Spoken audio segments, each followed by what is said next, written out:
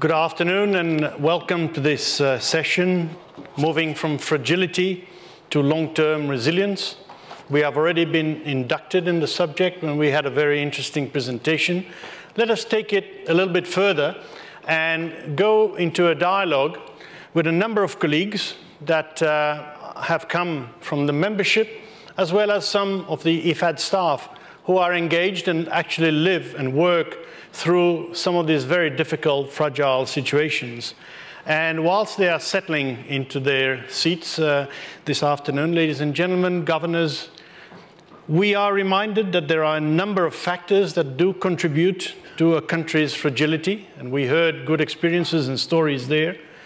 We realize that they all jeopardize the chances of eradicating poverty and achieving the Sustainable Development Goals, so we have to address fragility.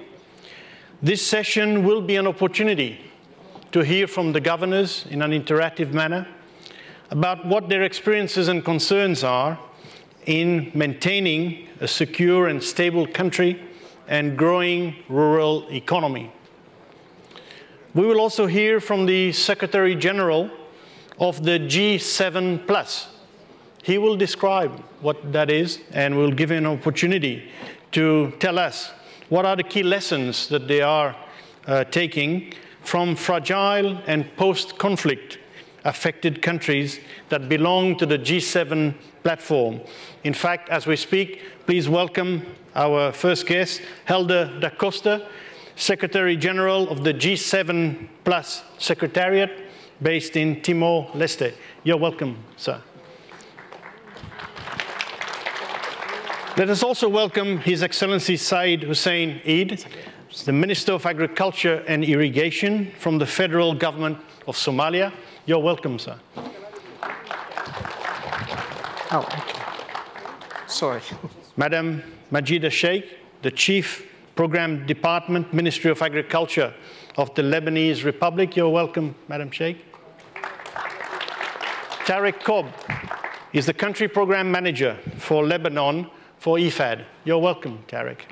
And Kaushik Barua, he is Acting Country Program Manager for Somalia here in IFAD in Rome. You're welcome. Ladies and gentlemen, give them a round of applause. I am Perrin Saint-Ange, as was introduced by Mr. Skinner. I am the Associate Vice President and Head of the Program Management Department here in IFAD, and I will moderate this session this afternoon. We have heard from the President of IFAD this morning that indeed, please sit down, that indeed the relationship between fragility, poverty, and hunger is essential to understand. And we need to do a better job at really coming to grips with all these interactions. Yeah. Fragility does create hunger, poverty, and migration. But hunger, poverty, and inequality can also lead to conflict and instability. We also heard from the lecture with J.J. Messner that fragility is complex, affecting everyone and varies from country to country. Nonetheless, according to the OECD, in 2015, fragile economies were home to about 1.4 billion people, or 20% of the world's population. This is not a small number. Over the past 15 years, 3.34 billion people, or almost half the world's population, has been affected by violence, and another form of fragility. OECD estimates that the global economic impact of violence and or conflict is about 13.6 trillion US dollars, equivalent to 13.3% of global GDP, with civilians, especially children and women, being most at risk. So, distinguished guests, ladies and gentlemen, fragility does matter. Okay. Matters to you, and it matters to us here in IFAD, and it does matter to our panelists today. In order to help build resilience and increase the capacity of rural communities to manage risks and sustain shocks caused by fragility, I would like to introduce the first question to the panelist, Dr. Da Costa, before we discuss the particular case of Somalia and Lebanon, would you please briefly introduce us to the G7 Plus and its mandate? Thank you, moderator. Uh, first of all, I'd like to uh, thank uh, President of distinguished governors and delegates from all over the world. The G7 Plus is a platform comprising of 20 fragile and post-conflict countries ranging from the Pacific, Asia, Africa, Middle East, and the Caribbean. It was established in 2010 in Dili, Timor-Leste, at the Forum of International Dialogue on Peace Building and State Building, immediately after the third high-level forum in Accra on aid effectiveness. At that time, seven countries came together to monitor the new engagement for good international engagement in fragile states of the OECD.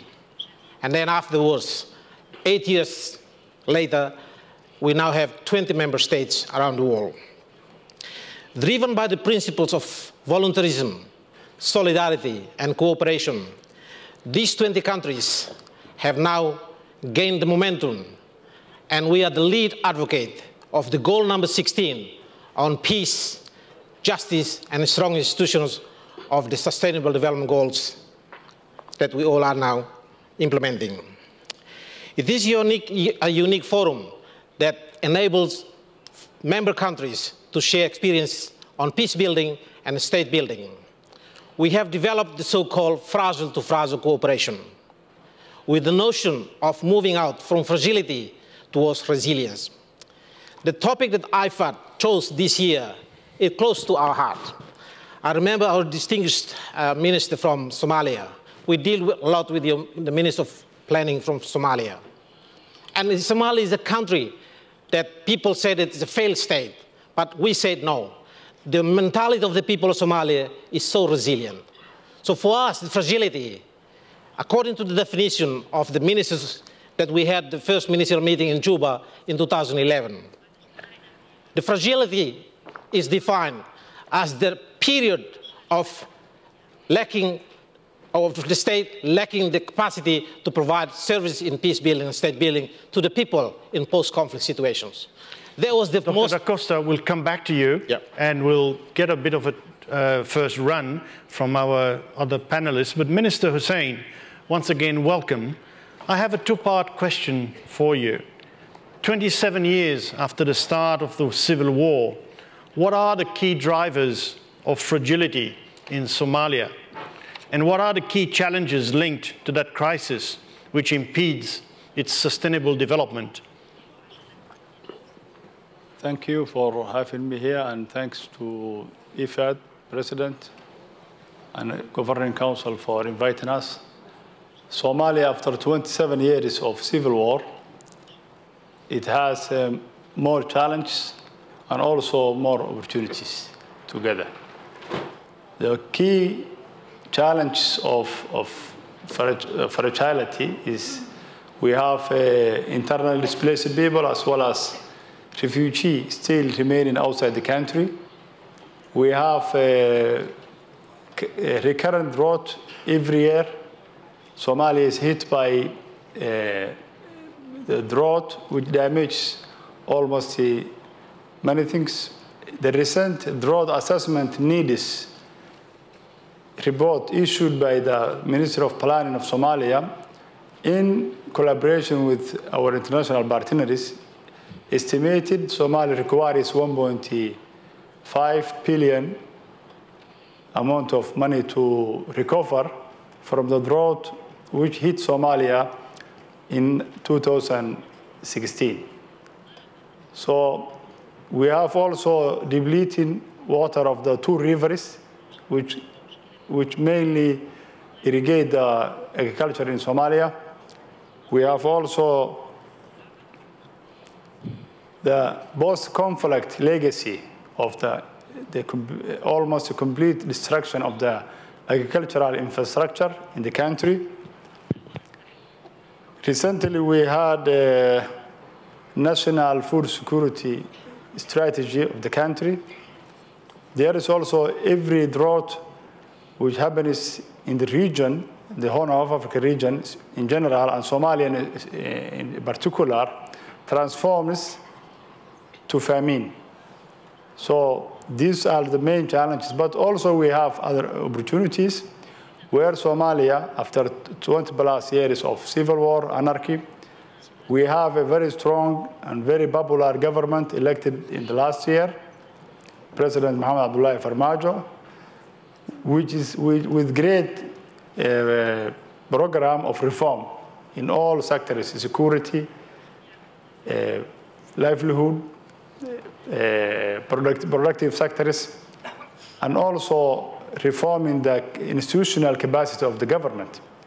So that is the indication now we have a very positive indication from multinational, multinational organizations, financial institutions like World Bank, IMF, all giving an indication that Somalia is coming back to, the, uh, to a healthy financial, public financial system where we are now in negotiation with IFAD to restart so its operation in Somalia after long absence in Somalia. We, that, that's why we have also a great experience. Somalia has a very vibrant diaspora. Our people are entrepreneur, they have very entrepreneurship spirit. We have very, we have a huge resources of Somalia is the host of Uh, livestock, huge livestock, number one in camel population in the world. Also, we have a, a, almost 10 million hectares of land uh, suitable for all types of, of, of agricultural production. We also have the longest sea in Africa, 3,300 miles, which is also a home for huge reserve of fish in the, in, in the world. We have also other natural resources, so we need, as my friend was uh, uh, telling, fragility in, is the state in which the state is not able to deliver it, the required services to its people. So Somalia is coming back. Somalia, in our recent budget, we have the first time uh, budget increase in the education, health, and also productive sectors. So despite uh, great danger of fragility and also its subsequent effects on human and also on, on, on animal, but we are resilient people. After 27 years of civil war, Somalia still have, uh, we are doing in many areas very good uh, resilience. So we, we believe with the help of the international, our international partners, Somalia will come out and will be able to stand at its own feet to face the shocks of the climate change and, and also recurrent drought. Thank you. Thank you very much, uh, Minister. We, we did hear from the previous speaker that it is not, fragility is not a terminal situation. We can bring about the necessary changes, and I can hear from your very, very committed uh, presentation that you have taken steps. You are on the way to addressing some of these concerns. You do need some help, and we are here also for that, particularly for the smallholder agriculture and natural resource management in the rural space. Madam Minister, uh, what is the situation in Lebanon? Yes, uh, uh, thank you, and uh, I will speak in Arabic, uh, please. بداية Allow me first of all to extend the greetings of the Minister of Agriculture in Lebanon to the IFAD, to the President and governors, as well as all delegates. As regards our topic, from fragility to resilience, the rural areas in Lebanon are facing huge issues the displacement in Lebanon led to a phenomenon which is the ruralization of cities. This is caused by the lack of centralization or decentralization in some areas. Climate change is among the main issues in the agricultural sector today. During the last four years, the snow cover decreased by 40%, and in Lebanon, we are facing some kind of desertification. We are facing problems after the Syrian crisis. The channels uh, of transport between Lebanon, Syria, and the Gulf region were blocked. Lebanon used to export 60% of its agricultural produce through Syria. However, this decreased starting from 2012. I would like to confirm what was said by my colleague from Jordan as regards the issues of uh, Syrian refugees and the burdens in the neighboring countries. Among the repercussions of the Syrian crisis, we can cite that the refugees number of uh, Syrians in Lebanon became very high and they are competing with Lebanese on the use of natural resources.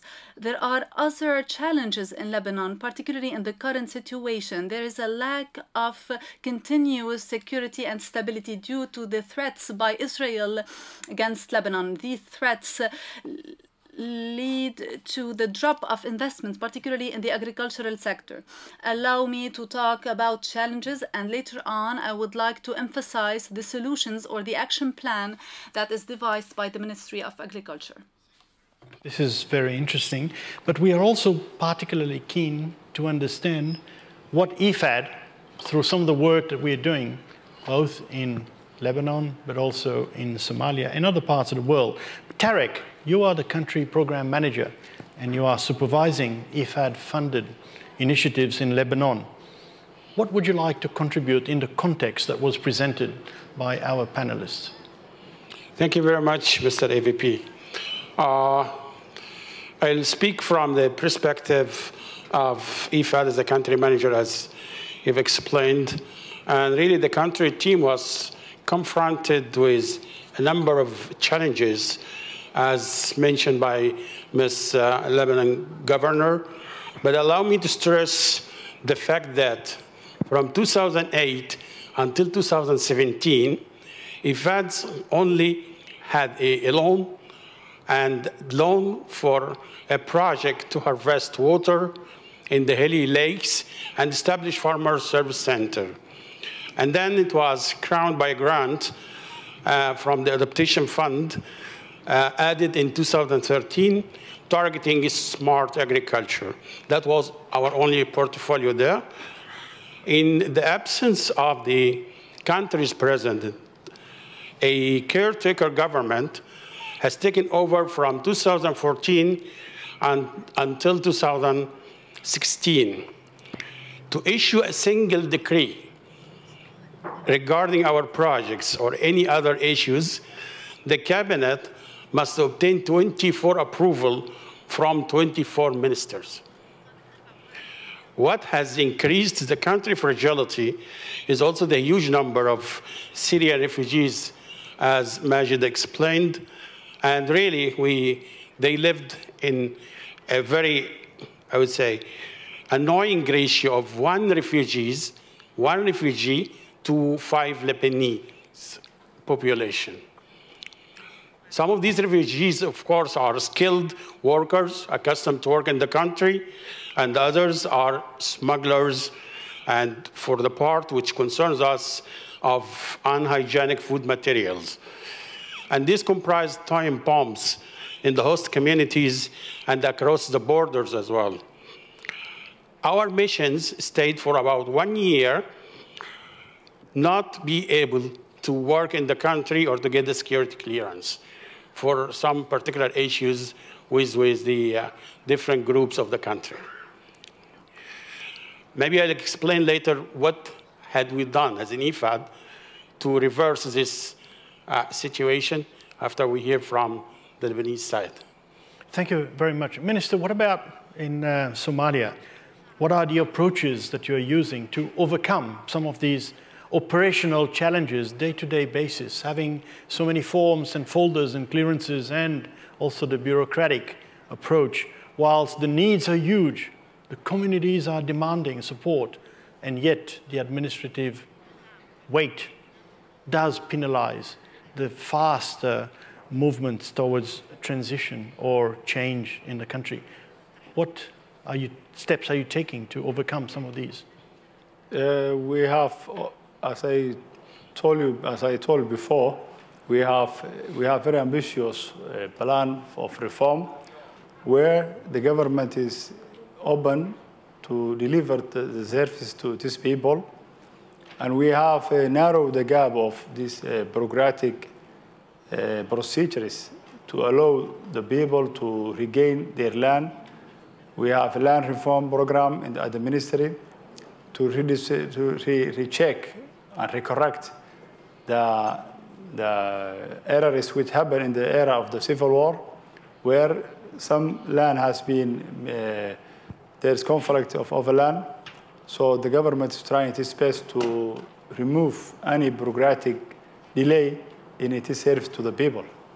Thank you very much. Kaushik, what, what's your experience in Somalia? That's the minister. Absolutely. And you go there to help him from time to time, and you do engage with the communities and you do engage with the institutions that are there to provide the enabling environment to make things happen. What do you take from the situation there? I think, as a country program manager uh, in yes. Somalia. Thank you, Pera. I think, I think our understanding of fragility and uh, resilience and how to build resilience aligns very closely with the Honorable Minister's understanding. Uh, in the last two years as IFAD, we have uh, hugely scaled up our operations in Somalia. Though we do not have access to IFAD's regular resources through the performance-based allocation system, we have worked through supplementary funds to design new programs. And what we have done, following from IFAD's fragile situation strategy, is we are trying to address root causes of fragility. We understand and we saw in uh, the previous interaction, in previous session as well, that fragility is multidimensional and complex, but there are some key causes that are within our scope of work. And we address them in design. Let me give you an example. Uh, when we design infrastructure, uh, and we're helping to uh, rebuild and rehabilitate infrastructure in some parts of Somalia, especially in the south. We know that the benefits of infrastructure and who will contribute to maintaining and who will um, yield, uh, who will enjoy the benefits of the infrastructure is a very contentious question. It's also contentious along clan lines and has been a source of conflict. So even before we start our works, we do a comprehensive mapping of all the clans in the area. This is the unique fault line for fragility, and we make sure we cover that fault line. And then we uh, develop infrastructure that is community managed and whose benefits are uh, are distributed equitably across clans. A unique arrangement and a unique means of managing infrastructure that we've developed in, in Somalia. There's another uh, important component uh, in our projects. Uh, we have developed, tied in with the management of infra infrastructure, we've developed uh, peace building components where we use this opportunity to build infrastructure to also talk to communities about peace and reconciliation. We tell them the infrastructure is just the canal a canal by itself doesn't mean much, but when we present this canal as a common interest for all communities that live along the canal, we have built a patchwork of communities with a common interest. And, and we, uh, we feed into Paul Collier's understanding of uh, moving out of fragility by building common interest. That's something we do critically in all our designs. Fantastic. Thank you very much. So why don't we extend this dialogue from this panelist right through to the uh, floor and get some feedback or some questions or suggestions from the membership as to what your take is on either the complexities of fragility as presented by our delegates or the way IFAD is addressing these challenges through our programs of work and loans and grants. Let me see if there are any flags for questions or answers or clarifications? I see one from France. Madam, you have the air. Merci beaucoup, Monsieur le Président. Thank you very much, Chairman. I'll be speaking French. I'd like to thank all the panelists from this afternoon's session. It's been extremely interesting so far we'd really like to welcome the priority that IFAD has lent to this issue of fragility and resilience from a strategic standpoint as well as from a financial standpoint with the revised uh, performance-based allocation system, making it more sustainable. As far as France is concerned, I'd like to highlight the fact that it's really a priority for us too. Last week, we came up with a new French strategy in response to fragility, which was approved with the Sahel Alliance, which seeks to target development problems and multiply by two the funds allocated to dealing with fragility. I have three comments, which are partly questions, on the difficulty that comes with implementing these programs. Firstly, absorptive capacity. When it comes to countries absorbing this enhanced aid, we welcome IFAD's engagement policy, which foresees a simplification of processes and procedures that target absorptive capacity. But with that simplification and this shorter circuit, what is your assessment on uh, the way that these new objectives will be achieved. The second question, the challenge between uh, bridging the gap between humanitarian aid and aid provided by others, for instance, WFP. What do you think the path to linking these two types of aid is? Thirdly, Another finding is the need to focus specifically on women's empowerment and girls' empowerment in fragile situations. How do you envisage a greater focus on women? We think that this is a key strategic issue for countries that could really be delved into. Thank you. Thank you very much, Madam Ambassador. Are there any other requests for the floor? So, clarifications? Let us go right away to the panelists, and I suggest that perhaps uh, uh, the minister from uh, Somalia, could you give us one uh, kind of feeling for how the issue of absorptive capacity constrains the ability of your government, the communities, local institutions, and civil society to absorb the resources that may be coming your way to facilitate and help you in this transformation. Few words on absorptive capacity. The question of having capacity to absorb international help is again coming back to the question of egg and chicken. Who's, who's the first? The, the international partners must, they are, they are under, under obligation to help the fragile countries to have a capacity to absorb those uh, funds. But if they make a condition that until unless the capacity uh, to have a capacity, they make other implementing agencies, which are also from outside, from outside the, the same countries, which uh, these um, uh, international partners are from.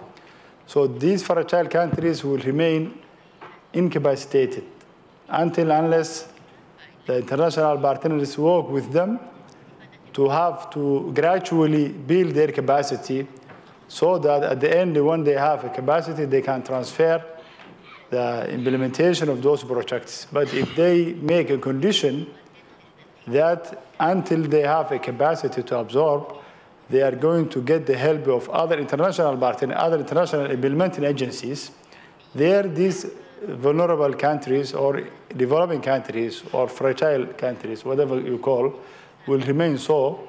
So we in the Somali federal government, we are trying to, we put much emphasis to build the capacity of the, our institutions so that gradually we will be able to implement those programs in a full scale.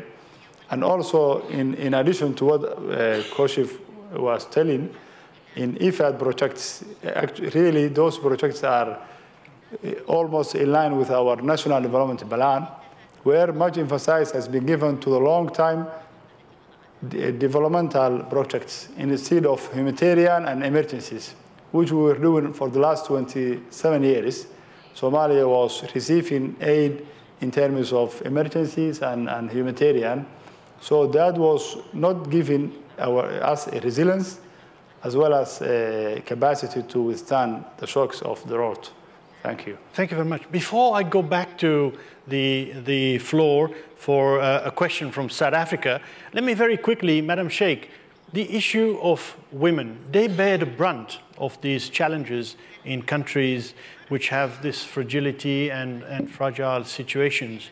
But at the same time, women are often the champions to bring about the necessary changes, the necessary enabling household capacity to make good uh, the, and overcome in a, in a comprehensive way the challenges that the families face. Your experience in Lebanon of women and fragility and how to address these in a very comprehensive way. Uh, in Lebanon, we have an observatory for rural women. It has been set up uh, with the support of Italy. This observatory is focusing on the help of rural women in order to empower them, to help them secure development. We do have a number of uh, rural associations in Lebanon, and the Ministry for Agriculture does support the women rural cooperatives. These cooperatives uh,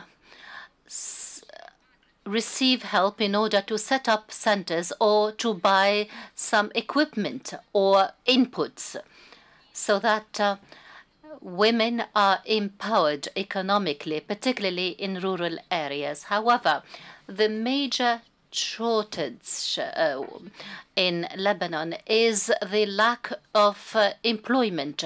Women are not integrated in the job market adequately in Lebanon. Ideology uh, on the uh, at the ideological level, there might be talk about the need to integrate women in the market. However, women, when they reach the decision making process,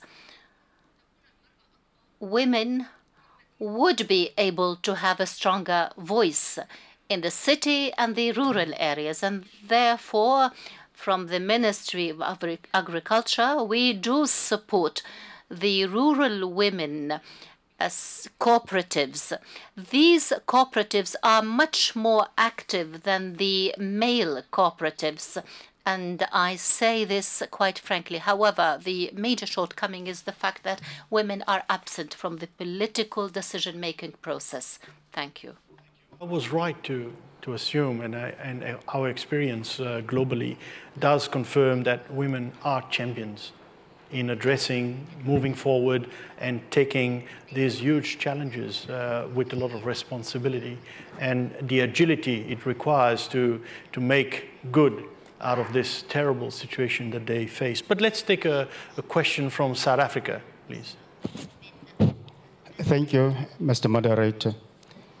Uh, the point that I want, I think someone raised a question of uh, that is very I think it drew my attention the question of uh, the root causes of fragility.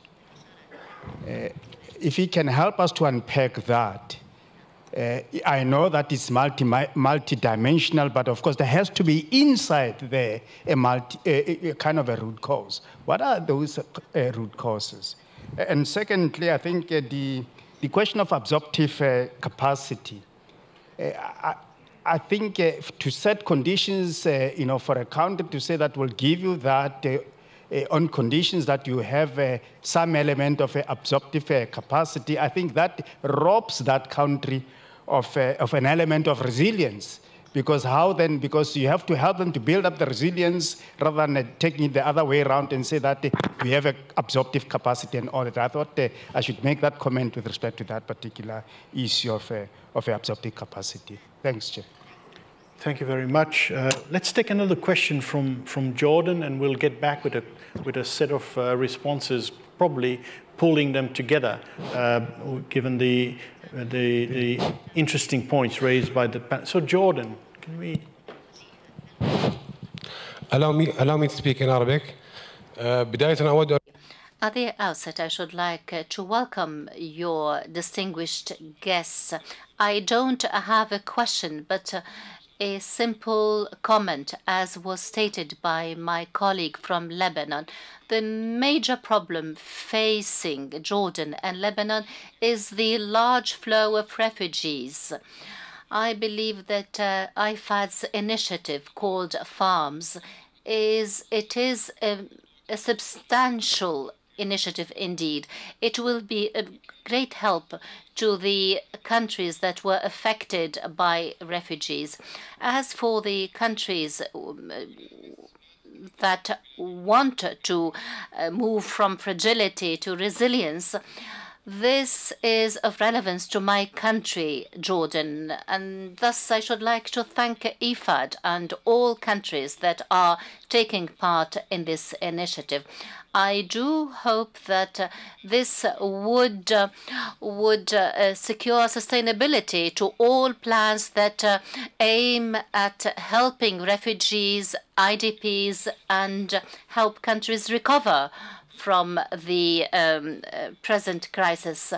I believe that um, uh, more support to uh, this initiative in order to improve the resilience of countries, it would help these countries, but at the same time, we need more help in humanitarian terms. I should like to thank IFAD for granting us a concessionary loan um, to secure this uh, goal. I do hope that IFAD would uh, further support us in expanding this uh, activity in, in Jordan. Thank you. Thank you very much. Yes, we will.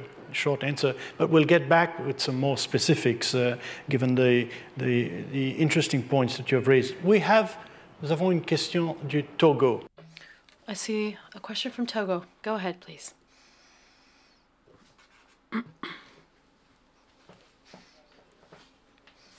Thank you, moderator.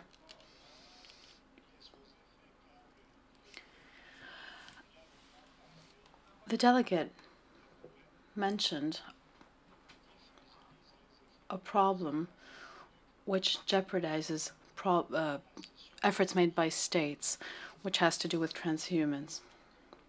Togo, like other countries from ECOWAS, has often been shaken by crises pitting pastoralists against farmers. Vis-a-vis -vis this situation, the government, along with actors from this area, have implemented an operational plan for the management of transhumance. Some three years ago, these crises began to fall. The incidence of these crises began to fall. And this has become an, an economic activity because pastoralists, are engaged in economic transactions along with farmers. However, we needed to take further steps to ensure that the operational plan, which was developed for Togo, could be expanded. We are in contact with other ECOWAS countries to ensure that other countries can replicate such a program, which is beginning to yield results. So I would like to ask for the support of technical and financial partners to support countries in ECOWAS so that we can strive to have a consensual framework for transhumance, actors, to act so that all social components involved in this sector can benefit. It's also worth noting that Togo's government has implemented a support project for vulnerable populations. Due to climate change, we have seen problems to do with flooding and drought. Therefore, the government has sought to support vulnerable populations.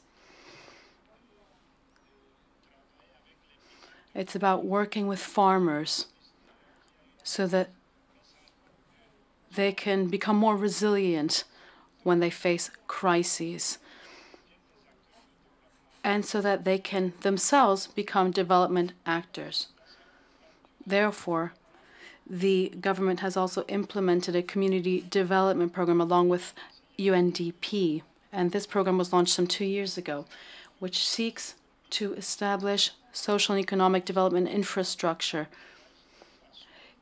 in every town to facilitate development.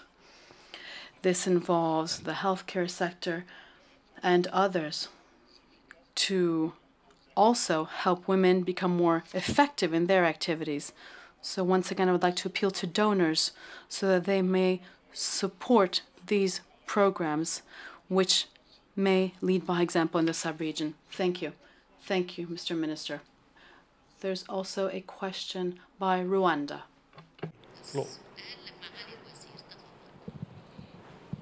Uh, thank you, moderator. I just wanted to make uh, some comments on uh, uh causes of uh, fragilities. As we see it in uh, Africa or eastern part of the Africa, climate change is causing a lot of fragilities in uh, nations.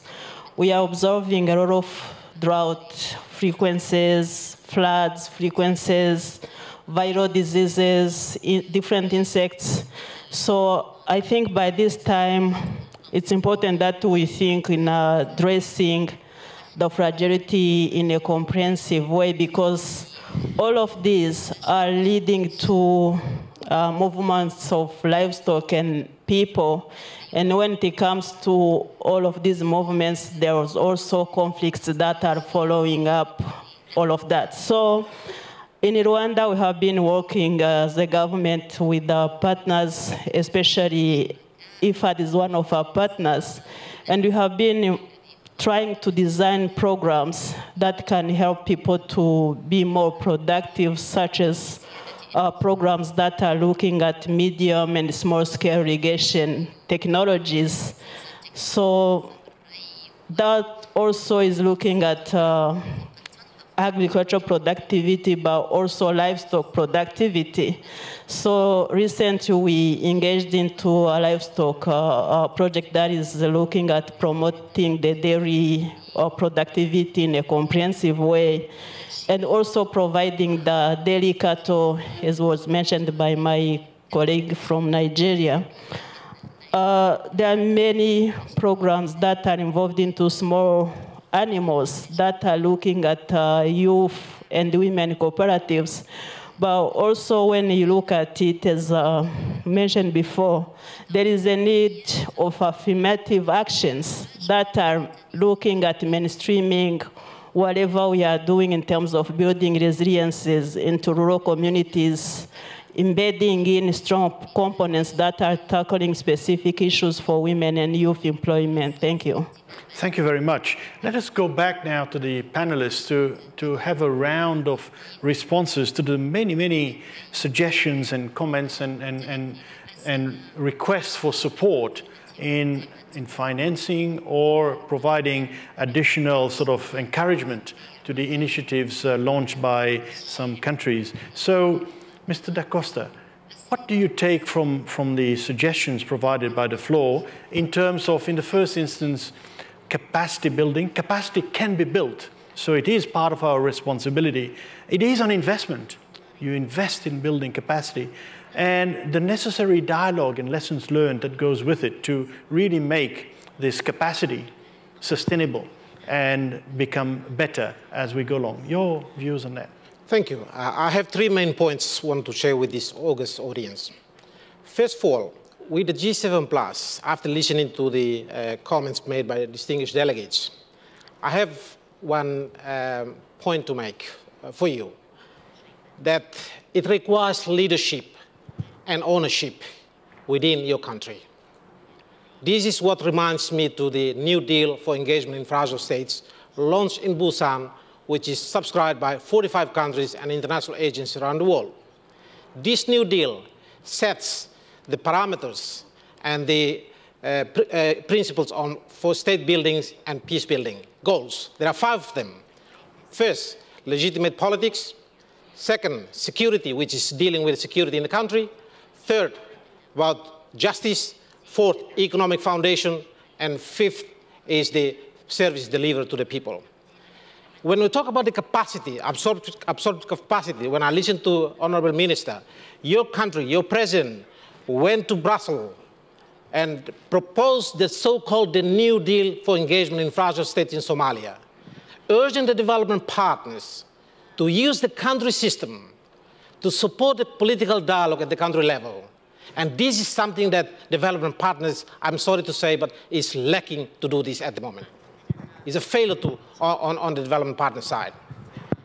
Second point, when you talk about the, uh, uh, the, uh, the discourse about the uh, cost fragility, with the G7 plus, small as we are, or as fragile as we are, we have developed a tool which we call the diagnostic tool for fragility assessment for G7 plus countries. These diagnostic tools comprise like a simple matrix. You plot the five peace building, state building goals I mentioned early on, against the five stages of fragility, which means period of crisis, rebuild and reform, transition, transformation, and resilience. The more you achieve to the resi resilient stage means that you are out of fra fragility. Fra the country is declared as graduated from fragility. When I listen to our guest lecturer, J.J. Messner here, there are a lot of questions about that. Are you working together with the government? This is the difference. When the fragility assessment is made by the G7 plus countries, it is done by the countries themselves. It is involving this civil society, government officials, development partners, private sector, so that the results is participatory. And also it provides to the outside world that, that the country is peaceful enough for potential investors to come and invest in our country, in our rural economies. That's about the leadership and the vision and also the uh, ownership. And when we talk about the fragility assessment, the, the, the, acronym of the New Deal called FOCUS. F stands for fragility assessment. What, o stands for one vision and one plan. C means country dialogue. U means you use the, the support from outside to support the country system. And S means support the political dialogue. So final point, moderator. I want to say this to you that no country wants to stay forever as a fragile. We want to, as soon as possible, move out from fragility. This is where IFAD, or IFAD, as an international agency, wants to help the fragile state. And my recommendation to you is this. Use the country system if you want to build the capacity of the country. Thank you very much. Thank you very much. Uh, Kaushik, you have helped us uh, for the, in the recent past to pull together uh, strategy and approach uh, an institutional dimension of the root causes of fragility and how our programs, loans and grants, can address these. Can you unbundle it a little bit? Uh, it's a comprehensive paper, so it's, it is very large. So in a few words, unbundle the issues of fragility and what we take from them and what we action on to address these issues. Yes, Absolutely. Thank, thank you, Pera. Uh, in fact, I'm fascinated by the, by the question on root causes. And I want to start with a statement that uh, I think about and other commentators on fragility think about when we think about fragile states.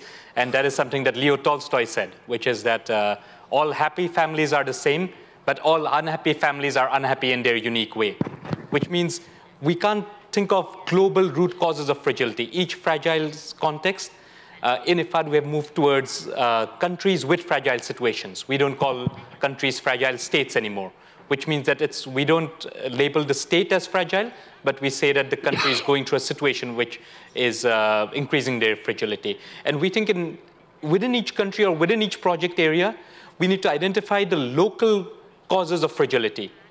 In most cases, it is some combination of conflict, lack of institutional capacity, and these two vulnerabilities being exacerbated by external shocks. So it's an external shock and the reduced capacity of the country to respond to these shocks. The external shock is often in the, uh, often comes in the form of climate change or climate change uh, disasters. And, and the state has a reduced capacity to respond to these shocks.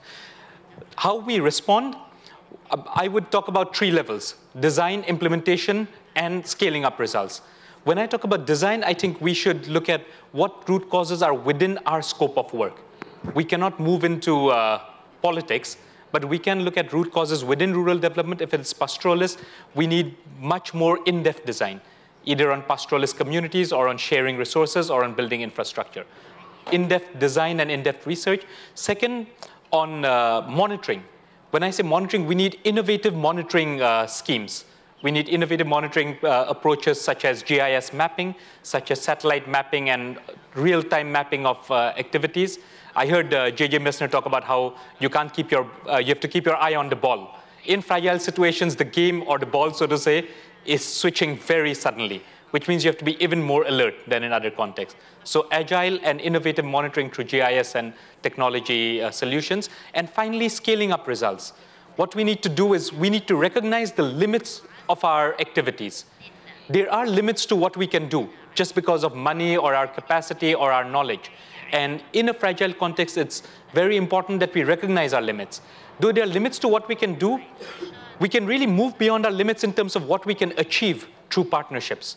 To give you a very quick example, in the project in Somalia, we realized that uh, we want to engage more with the ministry and we should move more through national institutions. But here, we can build the canal, but if farmers near the canal receive water but are not integrated into a value chain, our ultimate objective has failed, which is why even at the design stage, we are already talking to other donors and other partners and telling them, we are going to rebuild this canal, but we want you to build the value chain. And we shouldn't be stuck on the idea of taking credit for our work. It's about the international community working together to build resilience. So I would say uh, identify root causes in the country, and at the three stages, more in-depth design, more agile monitoring, and greater scaling up of results through partnerships. Thank you very much. I'm very pleased that towards the end you did add the word monitoring to ensure that we are on the right track and take the necessary steps to bring about the adjustments. And once we have data that confirms the results, we go about a scaling up agenda. But scaling up success stories, it has happened, and it's no secret, that sometimes there has been scaling up efforts of the wrong things. So of course, these go wrong eventually. So it is important to have the data, analysis, rigor in ensuring that what we are going to scale up has been tried and tested and, as the lawyers would say, beyond reasonable doubt, so that we can scale up and have a pretty convincing case for results and impact at scale. But uh, Tarek, as a country program manager and, uh, and as a professional in agriculture, in dryland agronomy and irrigation and livestock uh, movements in, in pastoralist environments, a lot of the questions and clarifications were around desertification, pastoralists and settle, settler communities, and the fast-moving desertification What's your take on, on handling and addressing these issues through the investments that we provide in these countries in the Sahelian zone, for example, in the northern parts of Togo, as well as some of the arid and semi-arid lands that you are responsible for as a country manager? Thank you very much. This is um, really one of the parts that we should uh, focus and we should also exchange the, the, the lessons learned from uh, each other and from the different environment.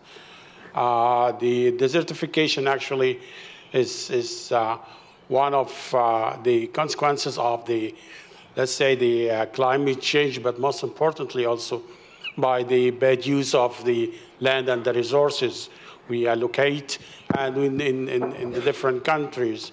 So uh, it is quite important and very strategic to take this into consideration for our planning and to make sure that where are we going, there should be resources to use and there should be potential and we should replicate and build on the success stories we have already built and have already gained, such as water harvesting, such as a, uh, uh, increasing the uh, revenue from uh, agriculture, such as uh, doing a proper cropping patterns in the area, and design a project actually which can be inclusive in including the whole community together, not only the uh, uh, targeting a particular uh, group of the society. So it's very important to be inclusive, very important to understand what is the causes for this desertification or for the lack of the resources, and how can we allocate the resources, the proper resources to ensure that we have successful projects. And uh, along the line, as uh, everybody was really stressing, we should have a monitoring system that should address the impact of these projects at the different stages, not only to focus on a particular part and when the project is ended, everybody forget about it and say that we, we had a project here and you go there and we, we see that there are some only ghosts in, in, in the place. No, we should monitor the project not only after graduation or after the project is concluded, but importantly, after a, uh, let's say, couple of years to ensure that this project is still delivering. Thank you very much. I, I take it that uh, the investments also uh, provide the opportunity to introduce the appropriate technologies uh, better seeds, better uh, cropping techniques, better harvesting of soil water, better storage, better distribution of water. All this in a very um, stable and technically sound uh, practice, uh, economically viable. Uh, so technology is also very important in addressing these, uh, these major issues. And we are all very proud that in IFAD we provide investments supported by a very strong technological base.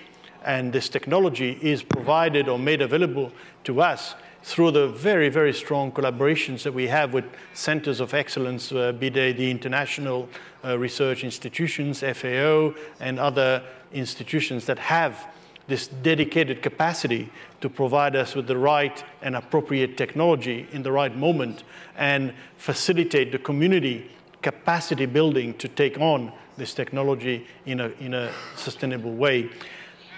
Madam, from Lebanon, uh, as we go forward, and there are resources available, there is great interest at the political the leadership. There is this ability to recognize what works better and what works less well.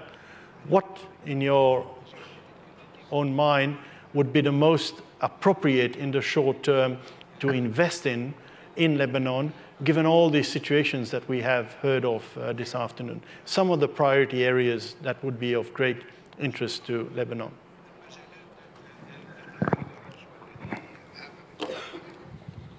ضمن العمل في وزارة الزراعة قامت وزارة الزراعة ب Well, thank you for that question. In the Ministry of Agriculture, we have adopted a strategic plan for the promotion of agriculture the plan stretching from 2015 to 2019. And this plan takes into account the main uh, focus areas of action and uh, first and foremost promotion of uh, and conservation of natural resources. Conservation of natural resources is really key. And it has been important uh, to look very carefully at water resource management which calls for a wise uh, utilization, rational utilization of water. And this is especially important in agriculture. The Ministry of Agriculture has a number of projects. I would say that the project that uh, aims at enhancing awareness of farmers, encouraging them to use green energy and to and to use water wisely is the most important. We had a number of pilots which aimed at providing training in the use of uh, green energy. And we also tried to help uh, farmers become more aware of uh, the use of wastewater, recycling wastewater, to be able to reuse um, this water in uh, uh, agriculture for irrigation. And so uh, there was this pilot, and it also um, helped to to create awareness. The other projects of the Ministry of Agriculture include planting 40 million trees to to combat uh, advancing desertification.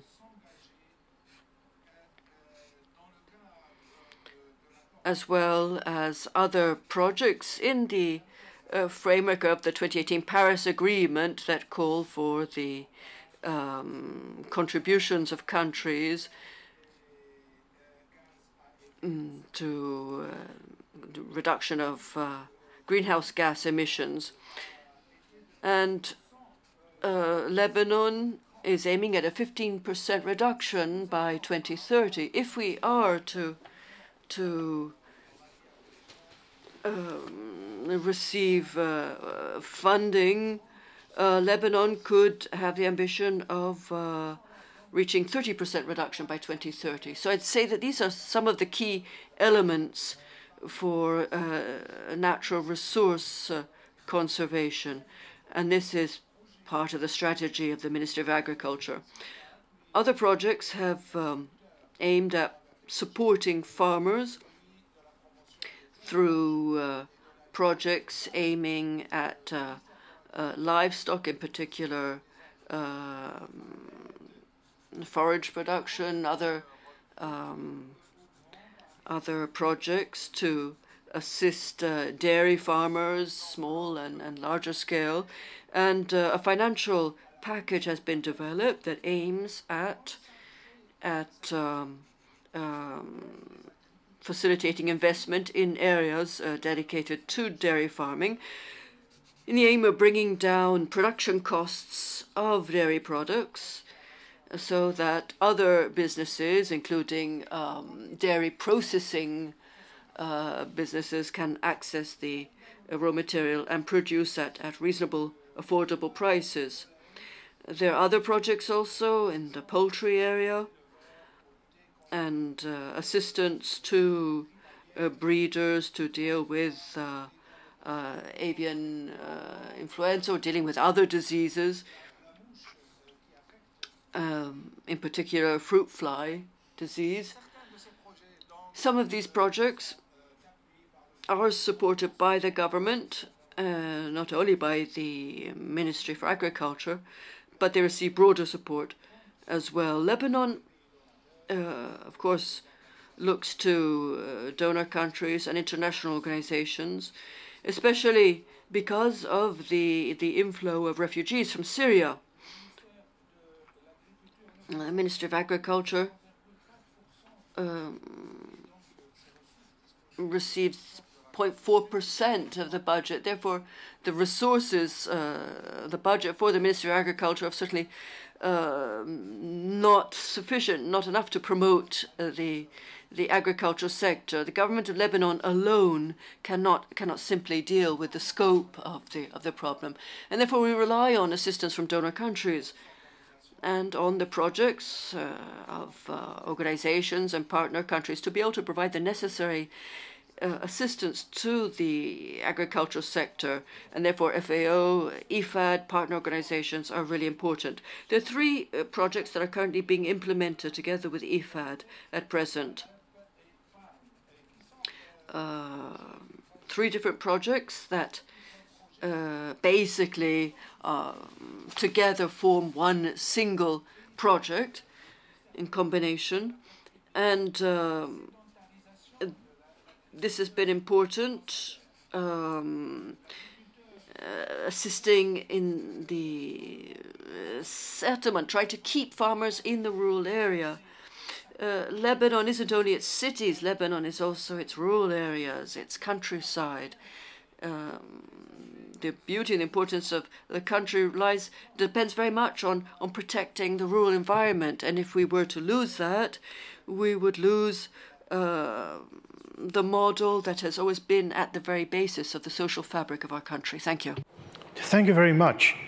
Um, panelists and governors and members, the president uh, of IFAD this morning confirmed and the governing council endorsed and approved that over the next three years, that is from 2019 to 2021, we will be uh, allocating about 25 to 30 percent of our program of loans and grants to support these very challenges that we've been talking about. So we are going to put our money, the money that you have provided to us, to address these causes.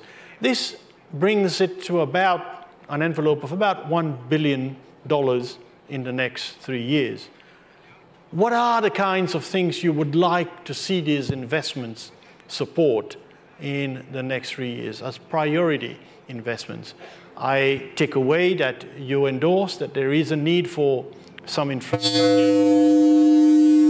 I take away that there is a need to really ensure that there is capacity building, that there is a need to support moving from emergency into investments that are going to give results and impact?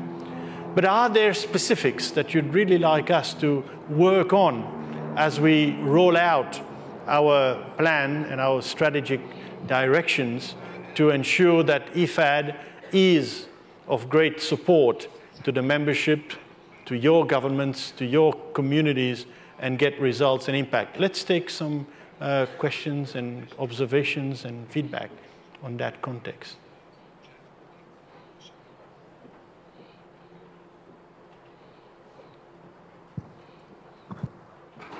I see none, and I take it as a vote. No, I see one coming in a hurry. Uganda, that's a great one. So, Uganda, you have the floor. Please help us. Uh, thank you very much, uh, moderator and the chair. Uh, one of the areas, my name is Vincent Ssempijja, Minister of Agriculture, Animal Industry and Fisheries, Uganda. Uh, one of the areas is exactly as you have mentioned, capacity building. But the only problem here is that when we talk about capacity building, we talk about building capacities of the technical, of the technical people. Talk about building capacity of the top leaders. But my own concern is that we must emphasize the people we are talking uh, we, we want to to help. These are the farmers, the rural people, the people themselves, the women, the youth.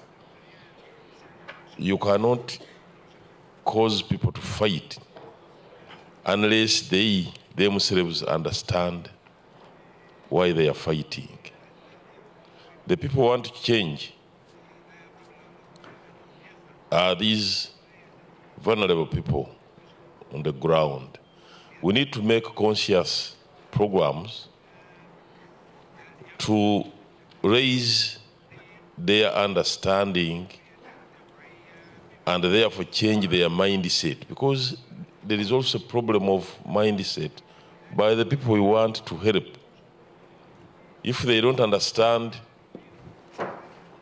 why you are talking about fragility and what it means, if they don't understand why they are poor, if they don't understand why they should get out of the situation where they are, you may invest a lot of money, but it may not do much. So to me, I want to suggest that one of the areas that we need to emphasize is really the real contact.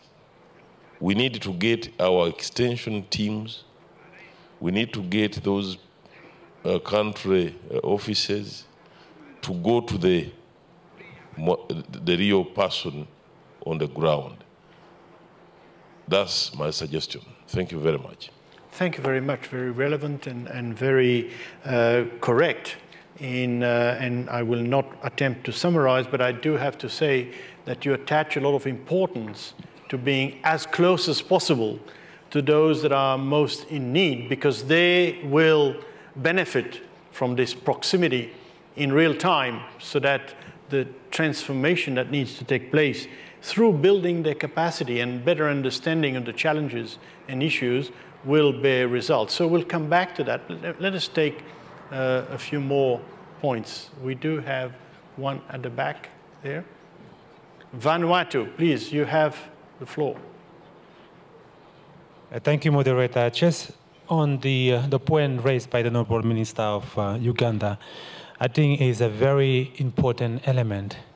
Um, why I just wanted to support his um, suggestions. The fact of the matter is that countries have people that are experts on these issues.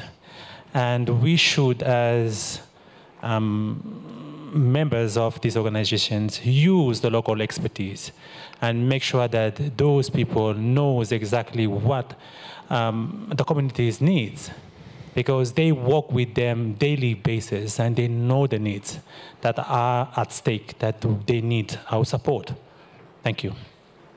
Thank you very much. Very uh, important point. In fact, the delivery model of IFAD does emphasize that the proximity support is as much as possible, it's not always possible, but as much as possible, be based from the local community, the local institutions that are closest to the community, and those that are able, civil society, NGOs, and others, to be at close call to the needs of the uh, rural communities and smallholders and, and small farmers. So you are absolutely right. There are experts in these countries, in these environments, and we re re resonate with this very, very well. But what we often see, and this is not a, something that we, uh, that we shy away from, is that often these experts need to have this ability to use their expertise in a very, very conducive environment. Sometimes, like we heard today, there were cases, and there are still cases of administrative rigor, which means you have to go through hundreds and hundreds of steps before you are actually able to bring about a few little um, you know, support uh, facilities to the communities. So the ability to also unleash the potential and the expertise that exists on ground is part of that political dialogue that was also mentioned here, and we are very sensitive to that also. Any other points from the, from the floor? Let's go back to the, to the panelists here, and yeah. Yes, let's go back to the panelists here, and your takeaway from the feedback that you have had, the challenges that you have understood and relate to, some of the practical steps that are being sort of looked at in the bigger global sphere in terms of data and analytical work and rigor and policies and strategies to move forward. Let us hear from each one of you in about two minutes each on how to use this forum as a stepping stone to the next thing make sure that the investments are well packaged, designed to give results and impact, not in 10 years or in 20 years' time, but as soon as possible. Okay, I'll try my best. The point I'll take away from this interactive discussion is twofold. There are two folds. One is that we need to develop trust between development partners and fragile states. Why I say trust is important, because another acronym of the element of the New Deal is in itself, by coincidence, also trust.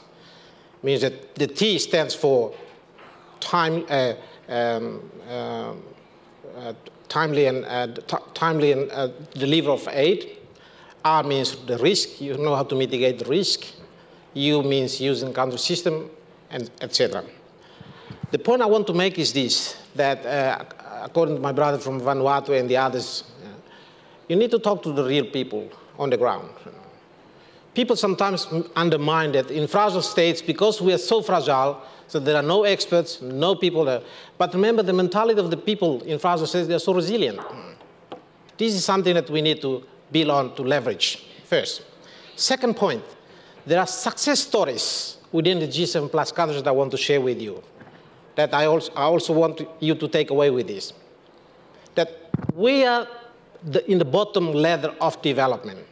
As you all know, in this whole world, you have developed country, you have upper and middle income country, you have low income country, and the bottom one is us, the fragile states.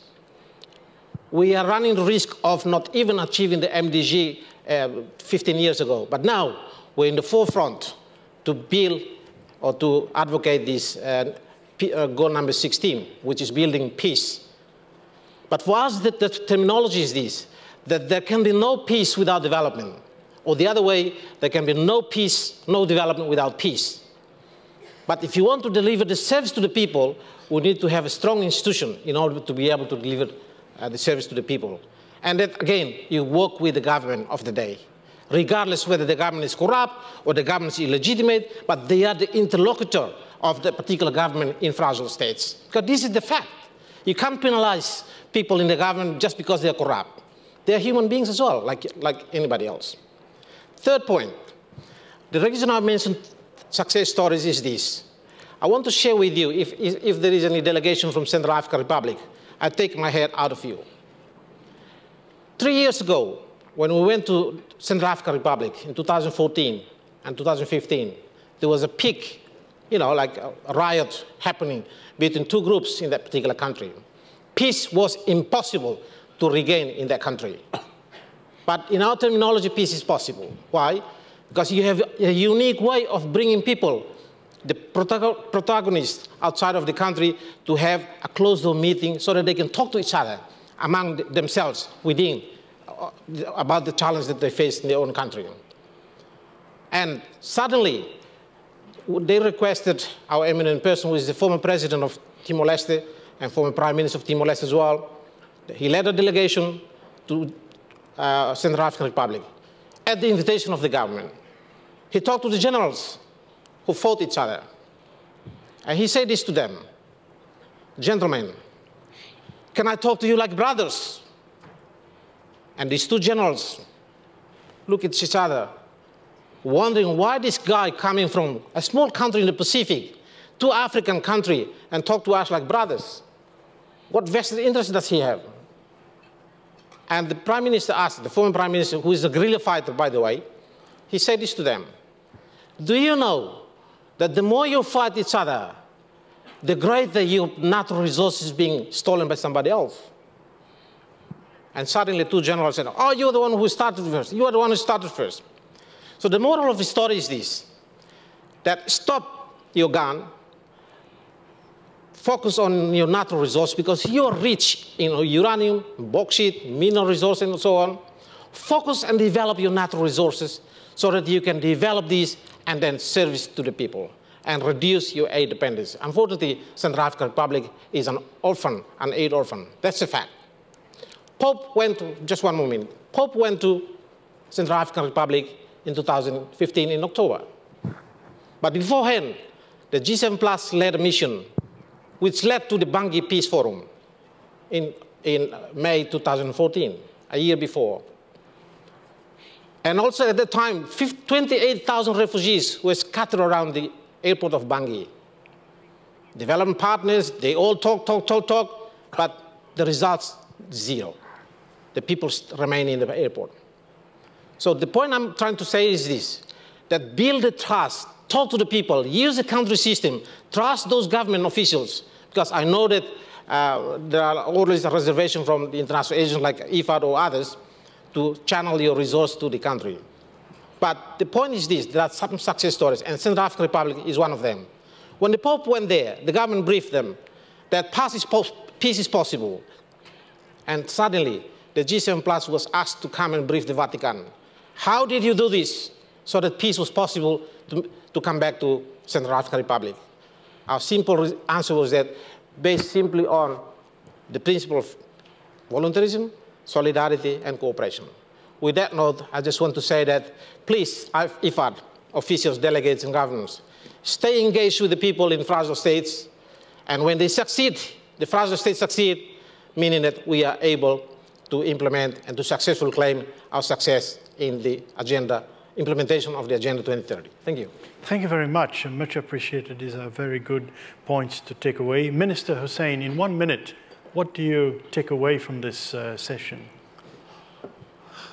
May, to move from fragility to resilience, it's only possible when the international partners decide to, em, to empower the local mechanisms of the fragile states to cope with the shocks of drought and disasters, and also to support the developmental projects which are the which will eliminate the root causes of fragility, rather than doing cosmetic services to the symptoms of the root causes of the fragility.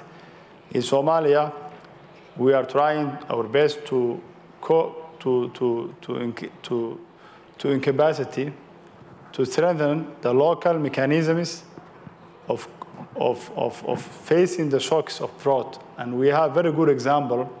the last drought which happened in 2016, there was local fundraising hubs all over the country and also in the diaspora to support the victims of the drought, where millions of dollars has been raised from school children to the corporate business people everyone in, in his own capacity to contribute to the relief operation of that drought. So we need to, for our international partners, to strengthen the local mechanisms and also to look after the national developmental plans of the countries, fragile countries, and not to, not to impose agenda from outside. And also, and that's what IFAD is doing in our Ministry of Agriculture, where we have common priorities, and we hope the next year we will have uh, fruitful results from those projects. Thank you very much. Thank you very much. Homegrown solutions are good solutions the way ahead. Madam Mcheik, your one minute take. Uh, I would like to talk about Lebanon in particular. The Lebanese government revived the ECOSOC that was halted for 15 years.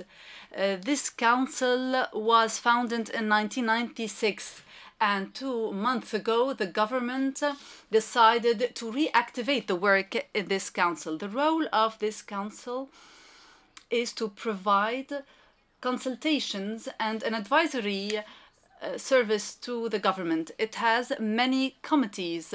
A committee is uh, dedicated to agriculture, and uh, the council, along with the ministry, will develop an agricultural policy and a development plan of action for each governorate in Lebanon. The objective is to work according to this fashion in order to advance economy and agriculture so that we can support local communities across each governorate so that they can participate and they can take part in the decision-making process when it comes to the development work. I would like to confirm that this council, along with the Ministry of Agriculture and the relevant committees, will take into account the role of women that represent half of the Lebanese society with a focus on the youth role. The elite among youth are the only segment capable of accommodating the challenges in Lebanon.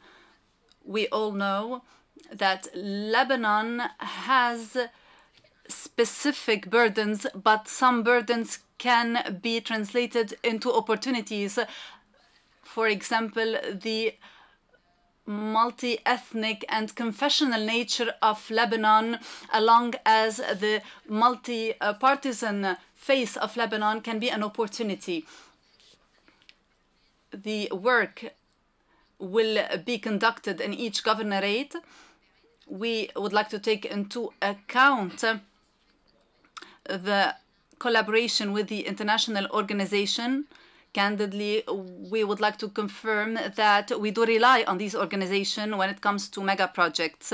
I would like to ask IFAD to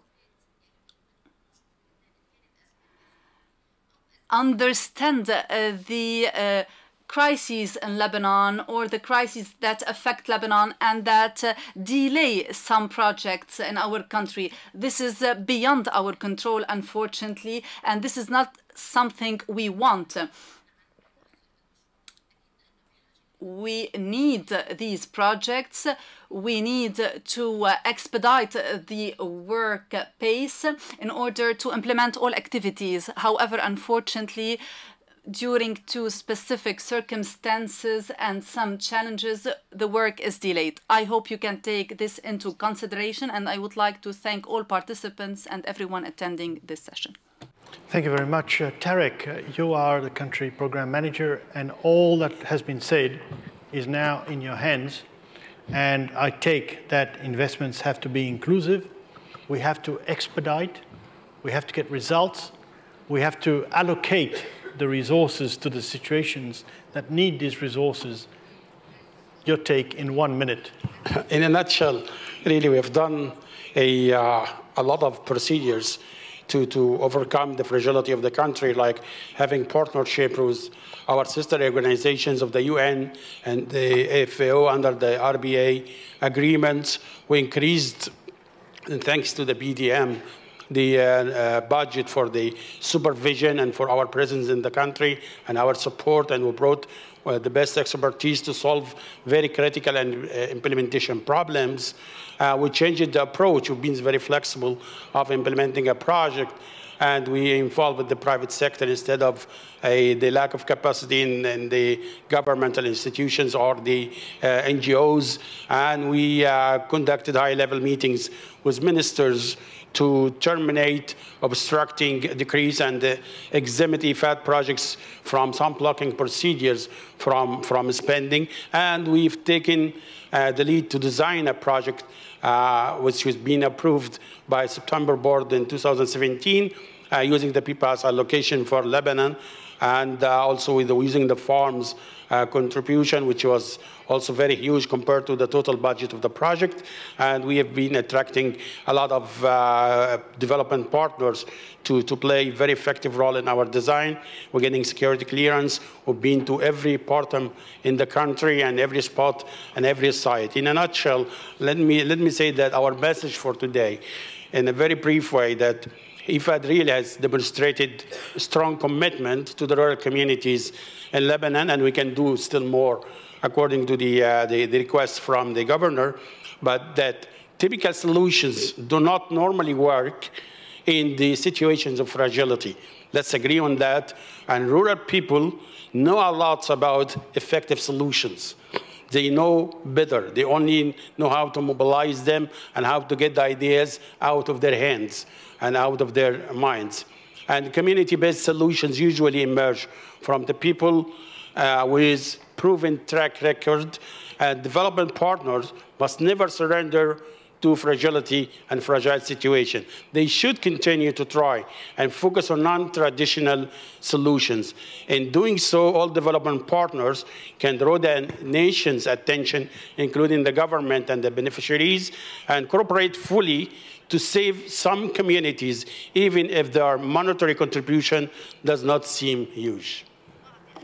Thank you very much. We are down to our last couple of seconds. So you have the last few seconds. Thank you. Uh, in wrapping up, I would say that with Somalia and with our other partners in fragile situations, we, I'll, I'll take less than a minute. We bring more funds, we bring more knowledge, we build partnerships, and we build a bridge. Let me just elaborate. We, build, we bring more money either uh, through the IFAD Vulnerability Index in the PBAS or through non-PBAS sources such as FARMS, which really helps us address specific crises. We bring more knowledge by uh, doing more in-depth analysis of root causes, or we bring more knowledge through South-South and triangular cooperation. We invest more in partnerships both with our donor, uh, with the donor community to enhance aid effectiveness and with national institutions to enhance capacity. And we use all of these to make sure that IFAD is a bridge between humanitarian and development financing, and IFAD should be the key institution between relief and resilience. And we help our communities move from relief to resilience. Thank you very much. This is highly appreciated. Dear governors, members, the panelists, it has been a very big pleasure for me to moderate this session, and I do thank the panelists for their participation, and to you, distinguished guests, for the lively discussions. Your contributions have been appreciated, and we have taken note, and we will be rolling it out as committed by our staff, but also as the uh, implementing agencies in countries like Somalia and Lebanon. You all deserve a resounding round of applause. Can I get that? Thank you very much. Much appreciated.